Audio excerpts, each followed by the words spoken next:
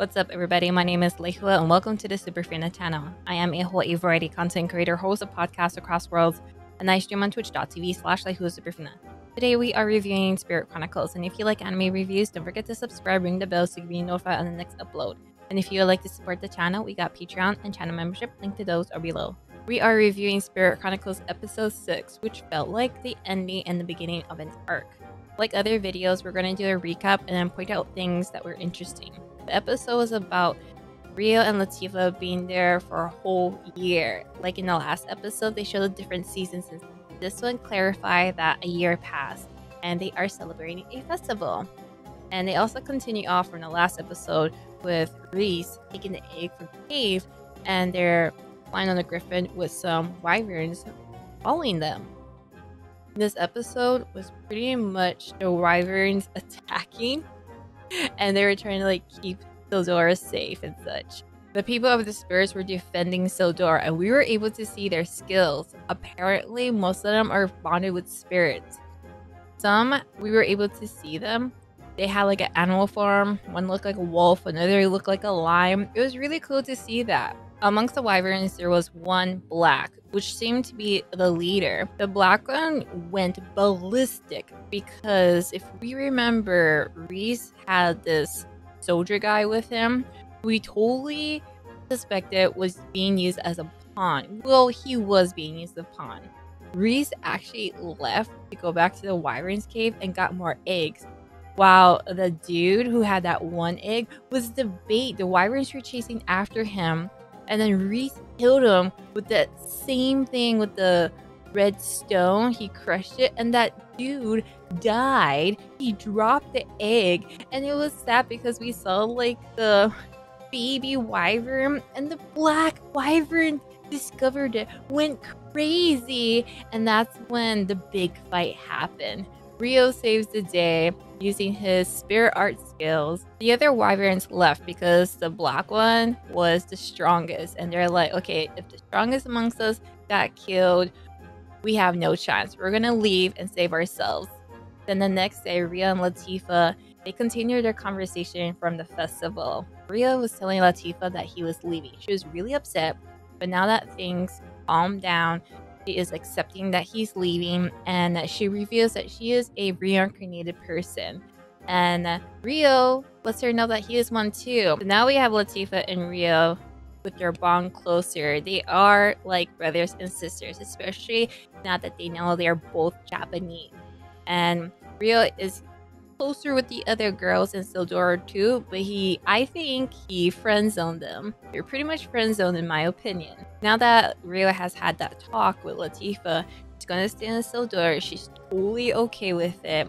And Rio's gonna go to Yagumo to find his people. Before he leaves, the people of the spirits give Rio new equipment. So he's got a new sword, he's got a new gear. He even has like a little artifact for storage and such. That's really cool and then he just goes off. That was the end of the episode. What I found interesting about the episode was one, the girls in Syldora, they were telling him how they wanted to deepen their friendship. Now, at first, it was like, what do you mean deepen? Like, you guys want to go beyond friends? You guys want to be in a more intimate relationship? But no, they just felt like he was building a wall between them. Like, there's a line that was never crossed, and they just wanted to be better friends and such. I mean, it's been a year and they felt like they haven't gotten that much closer with him compared to Latifa because Latifa and him, they're like family. And so the other girls are like, we want to be that close too. And this totally felt like the girls were being friend zoned. There was no love or intimacy going on. Definitely friends, which I like. I'm like, yay! The more friends, the merrier, right? And Latifa, she totally seems like she got family zoned. Like, Latifa always viewed him as an older brother because in her previous life, she had an older brother, right? And in this world, Rio seems like an older brother to her. He's been taking care of her, etc., etc.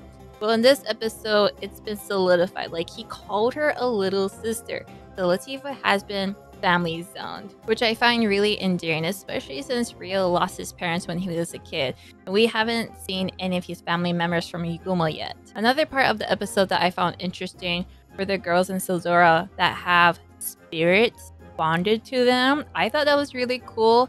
If we remember the first time we saw them, we saw Wolf, right? Well, apparently that was when the girls spirit bond.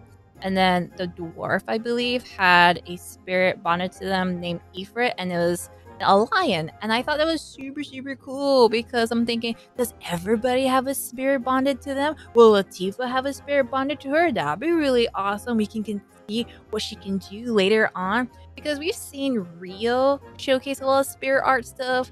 And then we saw that other girl who he learned spirit arts from.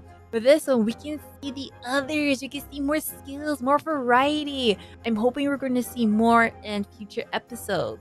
The next part I was really interested in was Reiss taking eggs from the Wyvern Cave. Apparently, the egg that they took in the last episode was just a bait, was just to take the wyverns away from the cave. And Reiss's main objective was to collect the rest of the eggs, like more. And he was cheating. He was using some type of like magic or spirit arts, and he created like these little portals underneath the eggs, and they just, they just dropped in. And transported somewhere. It could have been like a storage thing or whatever, but that was so cheap. And I'm wondering, what is he going to use these eggs for? I know he said something two episodes or one episode ago what the eggs were for and whatnot, but it's like, did you really have to sacrifice that guy just to get these eggs? I was hoping we were going to see that guy because he looked like he really wanted to join the Celestial Lion Brigade. Like, it, I feel bad for him. And we got to learn how Reiss killed that assassin dude. So this guy who was used as bait holding the egg, he ate the red stone. And Reiss crushed another red stone. And when he crushed it, that's what killed uh, the bait dude. And I was like, oh, that sucks. And it kind of makes it seem like Reiss views everybody disposable. And I'm just wondering would anyone eat a red stone from him? Is it because he's a superior or something like that? It was just really weird. I wouldn't eat a red stone. I, I think I would fake it. I'll be like, go. And then when they went away, I would like spit it out and such. And the last thing that I found interesting from this episode was Rio's new equipment. It totally looks like what we saw in the opening. He has new clothes, he has like coat, he has a new weapon, and he has like this accessory that's going to be used for storage. It's really awesome.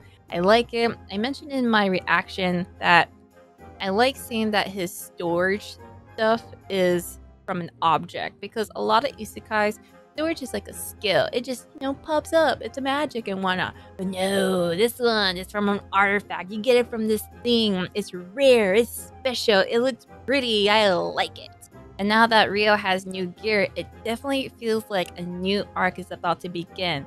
It's like, okay, Rio, what are you going to do with these new items, equipment that you have? What more can you do? You are prepped for more challenges and such, which I'm excited for because in the opening they showed a lot of stuff that we haven't even encountered yet. And that concludes my review for Spirit Chronicles episode 6. If there's anything that I missed, please let me know in the comments below. And if you haven't seen the episode, let me know what your impression is so far you want to talk outside of YouTube, there's a Discord. Link is in the description. I also stream on twitch.tv slash Superfina. People who watch these videos like to stop by the stream outside of YouTube and Twitch. I host podcasts across worlds where we talk about anime, manga, and other things we're interested in. If you like podcasts like that, link to the podcast is in the description. We're available on all platforms. Other than that, my name is Lehua, and this is the Superfina channel reviewing Spirit Chronicles Episode 6. Hope you guys like this video, and I'll see you on the next one. Laters! Huge thanks to my Patreons and channel members for making this video possible. If you also want to be part of the Superfina party, you can click over here or become a channel member. Don't forget to subscribe so you don't miss the next video. And I do stream live on Twitch every Tuesdays, Thursdays, and Saturdays. Hope to see you guys there, and I will see you on the next video. This bump